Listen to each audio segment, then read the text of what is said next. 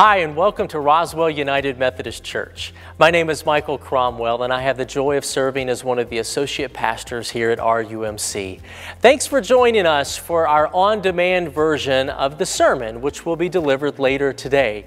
If you'd like to watch our services live, you can do so via our live stream at 9 o'clock and 11.15. Notice our different worship times and our different hours that we have now. You'll also be able to see the entire worship service on demand later this afternoon at rumc.com slash sermons. We are so glad that you are with us today. We're thankful for your presence and we're thankful for your generosity and the different ways that you are helping to make RUMC a place of community and faith. Let's have a word of prayer before we hear our sermon.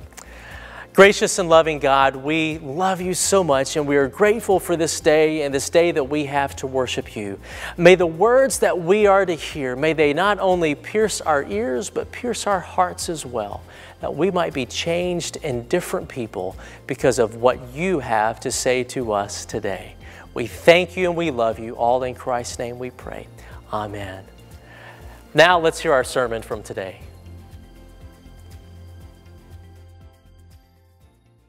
This morning I'll be reading from the Gospel of Matthew, chapter 7, and I'm going to start reading at verse 24. This is what it says Therefore, everyone who hears these words of mine and acts upon them may be compared to a wise man who built his house upon the rock. And the rain descended, and the floods came, and the winds blew and burst against that house, and yet it did not fall, for it had been founded upon the rock. And everyone who hears these words of mine and does not act upon them will be like a foolish man who built his house upon the sand. And the rain descended, and the floods came, and the winds blew and burst against that house, and it fell. And great was its fall.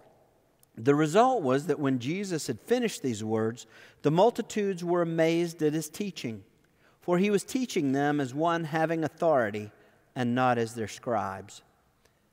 Pray with me.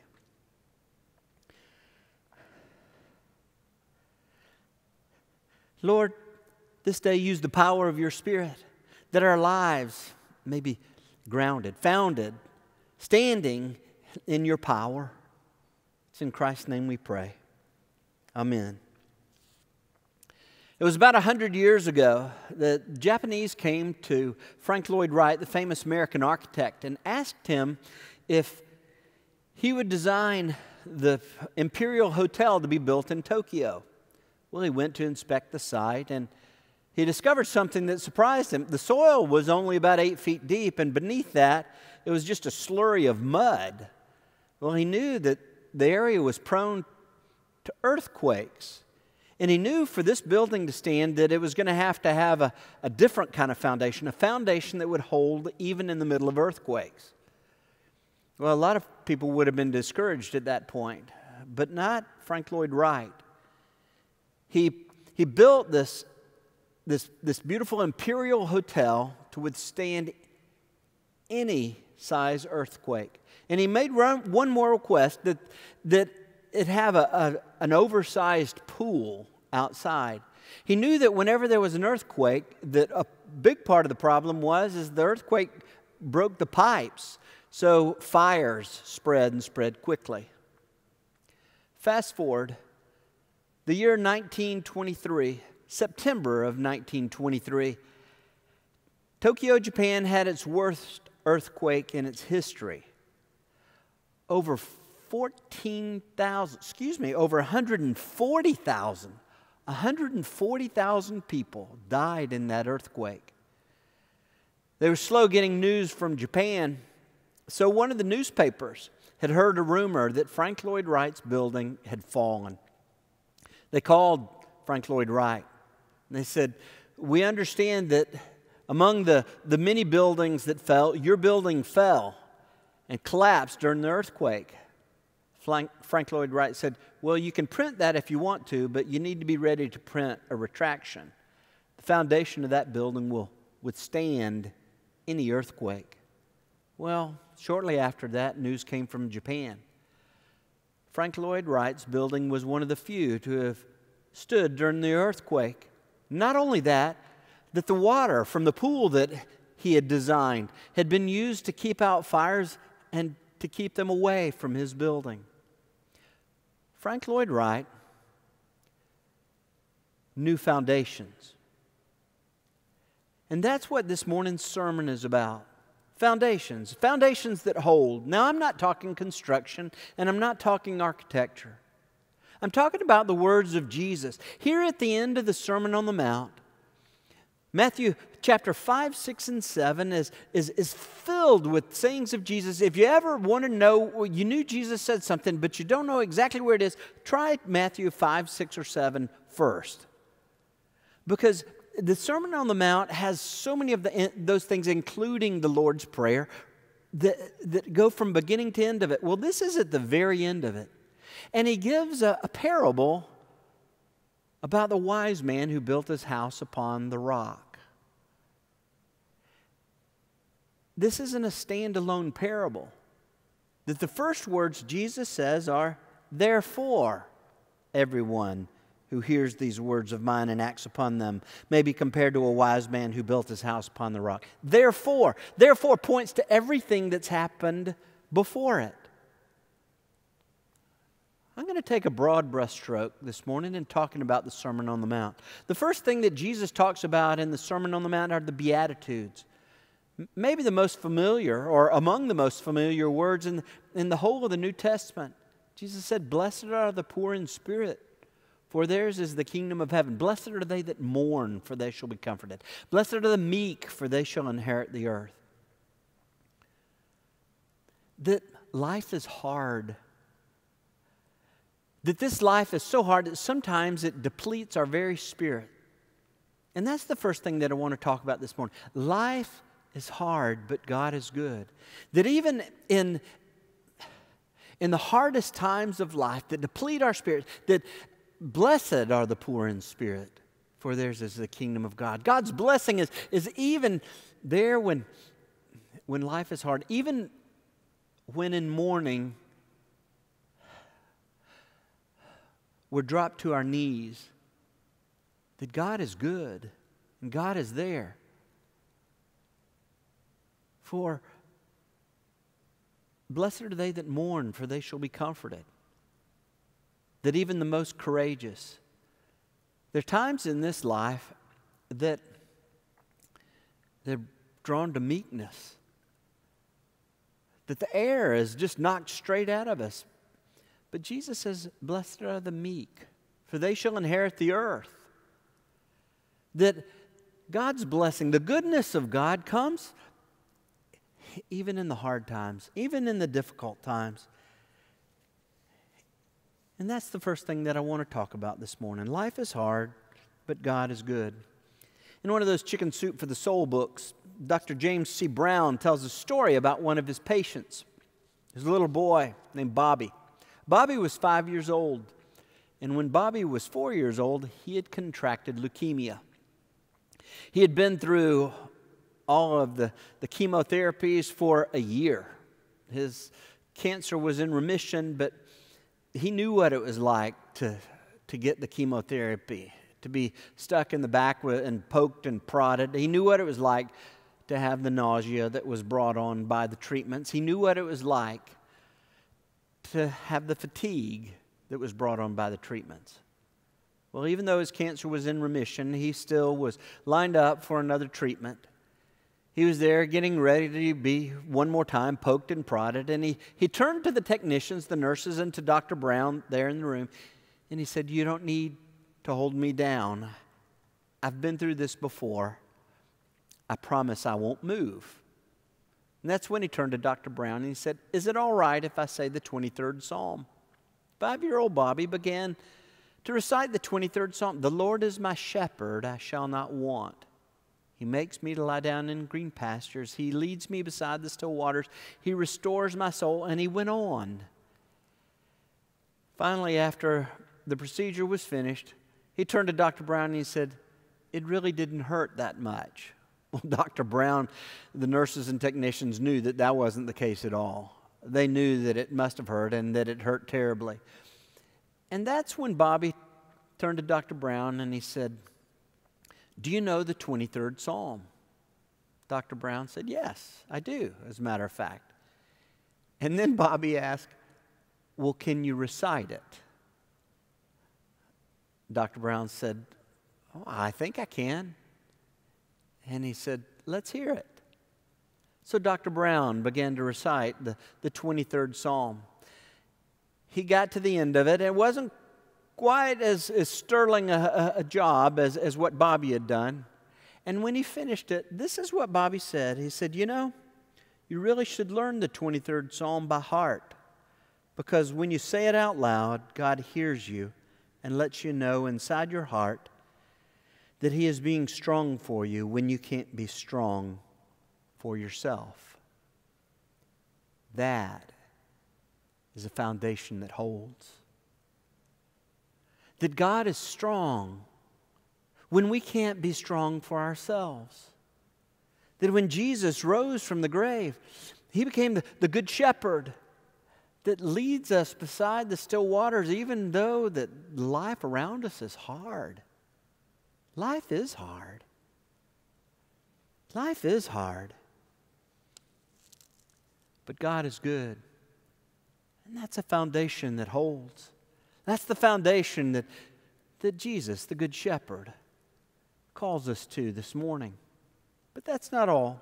Second thing that I wanted to talk about this, this morning is that, well, you know, people are hard, but forgiveness is possible. I'm taking a broad brushstroke to the Sermon on the Mount, and in chapter 6, the tone of what Jesus says changes and changes greatly. He begins to talk about hypocrites. Well, he doesn't take a light approach to talking about hypocrites. He talks about three things specifically about hypocrites. One, he uses the example of, of when they pray.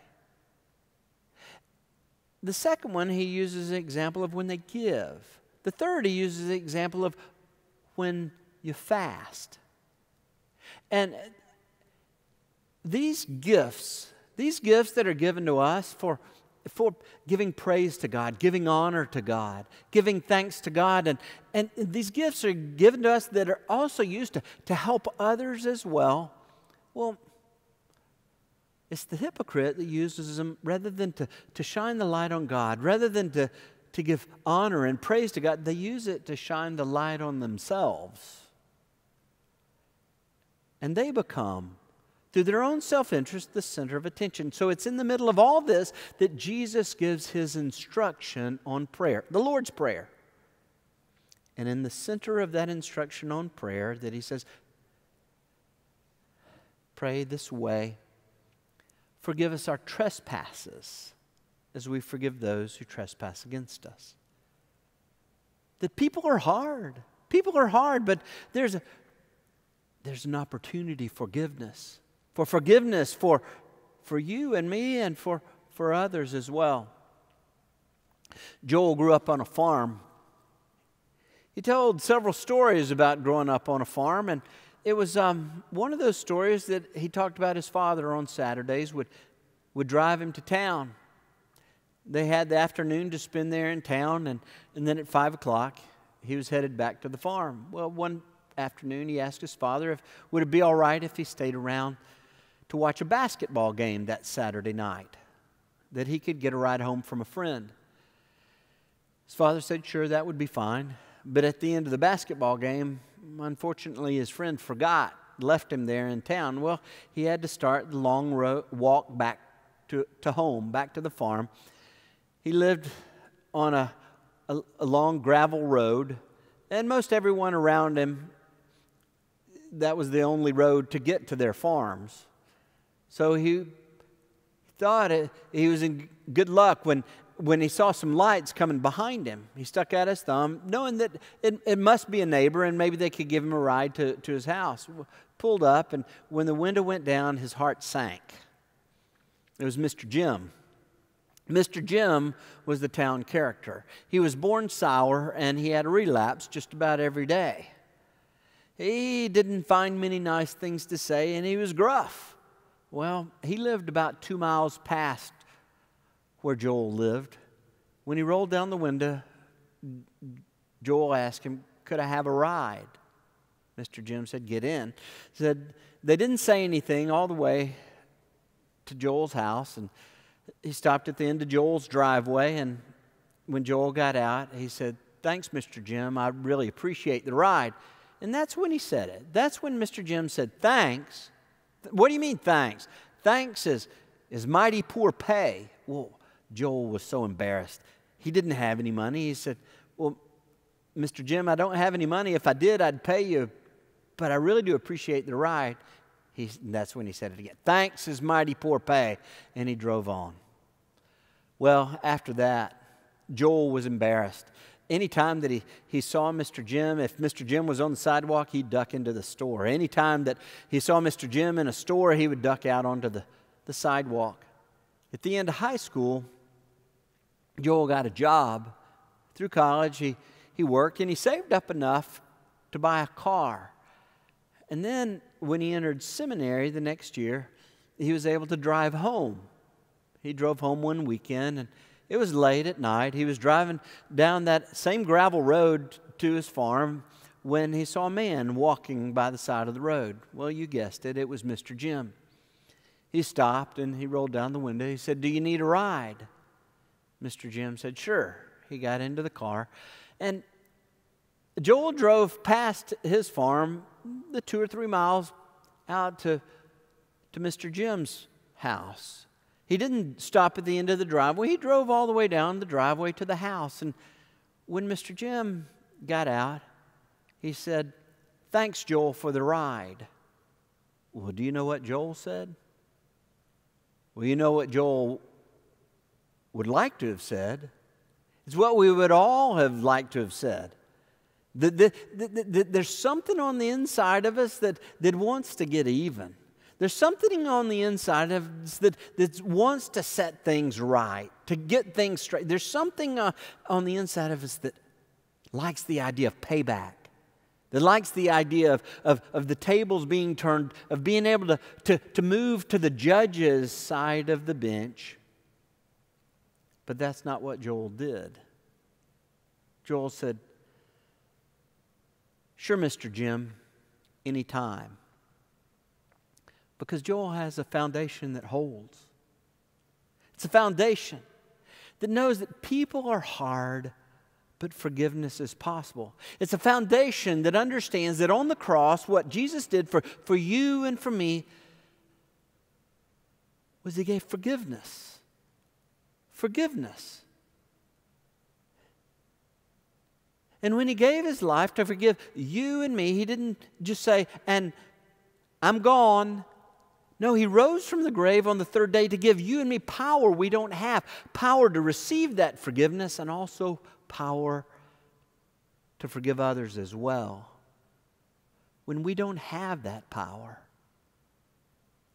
people are hard, but forgiveness is possible. That is a foundation that holds. That's Jesus Christ in your life and mine, the foundation that holds. But that's not all I wanted to talk about this morning.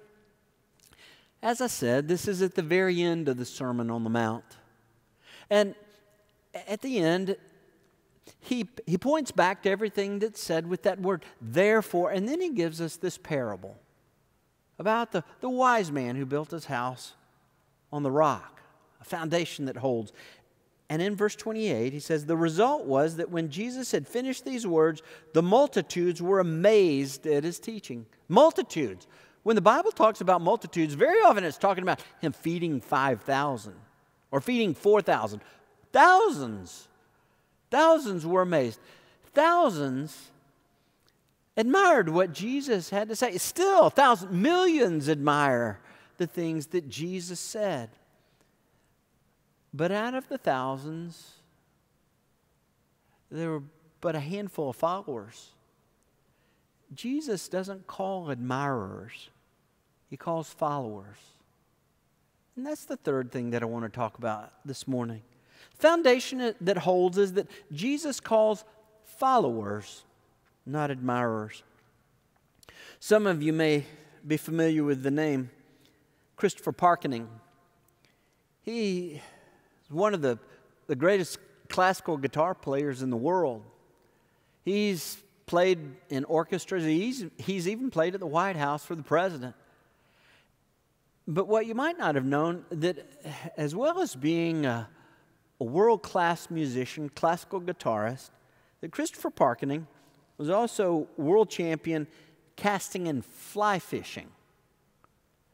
A world champion in fly fishing and casting, as, as well as a, a, a world class guitarist. Well, the rest of the story I'm going to tell in in his words. He says, By age 30, I had achieved all my dreams in the musical world. But I was tired of the grinding schedule of hotel rooms, performances, and recording sessions. It was time to go fishing. With the money I'd earned, I found and purchased my dream stream on a ranch in Montana. I'd stopped playing the guitar. I called my record company and management group at Columbia and told them I had no desire to play anymore. I'd earned enough money from my music that I didn't need to work anyway. So for several years, I did everything I wanted. I learned every trout stream in the area and fished to my heart's content. But as time went by, I became very unhappy with my life. I don't know how to describe it, but my life became boring to me. It was totally empty. When you arrive at a point in your life where you have everything you've ever wanted, everything you thought would make you happy, and it still doesn't, then you start questioning things. I had the pot of gold at the end of the rainbow, and yet I thought, well, what's left? What's missing? While in California visiting friends, I attended a church where I heard a sermon entitled, Examine Yourself Whether You Are in the Faith. The preacher said that you could know all about Christ, know all about the Bible, even address Him as Lord, and Jesus might say to you, Depart from me, I never knew you. You never did the will of my Father.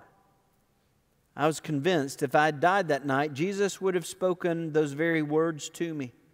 Though my parents had introduced me to the Christian faith when I was young and thought I was baptized, and, and though I was baptized and read the, the Bible occasionally, I had never really done God's will.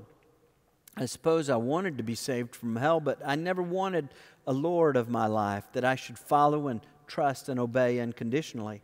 So I went home that day, broken over my selfish ways, and I prayed that Christ would be both Lord and Savior of my life. I surrendered the control of my life to Him. I developed a great hunger for the Word of God and started reading the Bible in earnest. Soon I came across a passage that said, Whatever you do, do it all for the glory of God. 1 Corinthians 10 31. I realized there were only two things I knew how to do fly fish for trout and play the guitar. Well, I'm playing the guitar today, absolutely by the grace of God. I have a joy, a peace, a deep down fulfillment in my life I never had before. My life has purpose. My desire is to glorify God and His Son, Jesus Christ, with my life and my music. The great composer J.S. Bach once said, The aim and final reason of all music is none else but the glory of God. In giving my life and my music over to God, I've learned firsthand the true secret of genuine happiness. Christopher Parkin discovered discovered the foundation that holds.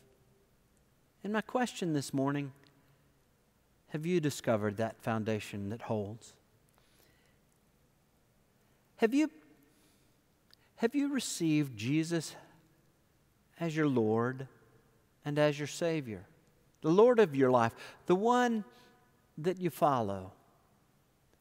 Have you received George, Jesus as, as the Savior of your life? the one that you trust for the forgiveness of sin. It may be that you've never done that before, and this morning I want to pray, pray with you that, that you do that. Receive Jesus as Lord and Jesus as Savior. But it also may be that, that years ago you, you did pray to receive Jesus as your Lord and receive Him as your Savior, but you've gotten off the road that you know that He's the foundation that holds, but you've not obeyed. It also, may be this morning, that He is your Lord, He is your Savior, and you've been following. Well, I want to invite you to pray along as well. That the Holy Spirit be received by all of us. That we know that foundation that holds. And we follow Him as Lord and as Savior. Pray with me.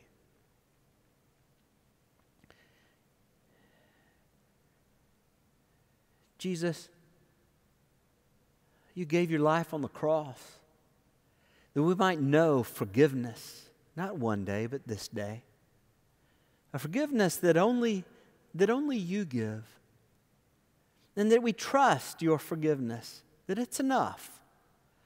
Lord, I do believe that this morning there are folks that have never known that forgiveness and trusted you as their Savior.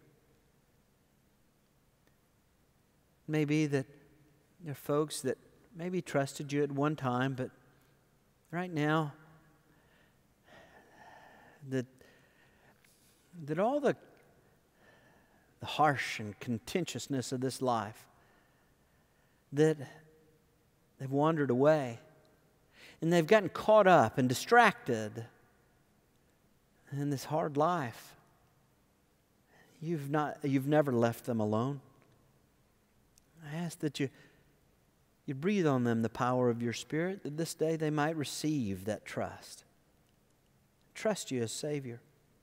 It also may be that there are those that maybe they, they trusted you at one time, but they never followed you as their Lord.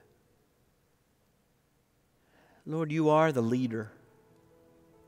And I ask, did you breathe on us this day the power of your Holy Spirit that we become your follower? not just admirers, not just amazed at the things that you said and the things that you did, but this day and all the days to come, we follow you as Lord and trust you as Savior. It's in Christ's name we pray. Amen. Thanks again for joining us today. Um, just a reminder, if you'd like to watch the entire worship service, you can do so via live stream at 9 o'clock and 11:15 a.m. You can also view the service on demand a little bit later this afternoon at rumc.com slash sermons. Also, if you have any prayer requests, we would love to hear about those. You can send those in to pray at rumc.com. Also, if you'd like to give of your tithes and your offerings, you can do that online as well. And that's at rumc.com slash giving. Uh, thanks again for joining us today and for honoring God with your presence. We hope and pray that you have a wonderful week, and we look forward to seeing you again next week.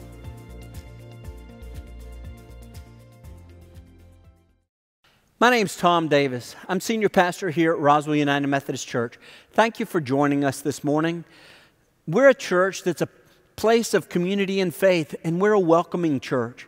I hope that you experience that online, but not only online. My hope is that you experience it through our Facebook page. But not only that, once we meet together in person, we're at 814 Mimosa Boulevard, and I hope you'll come and experience it in person. We're a welcoming church, we're a biblical church, and we're a compassionate church. It's a place of community and faith where we help people live a Christ centered life. And my hope is that you'll come and be a part of it. Thank you for joining us.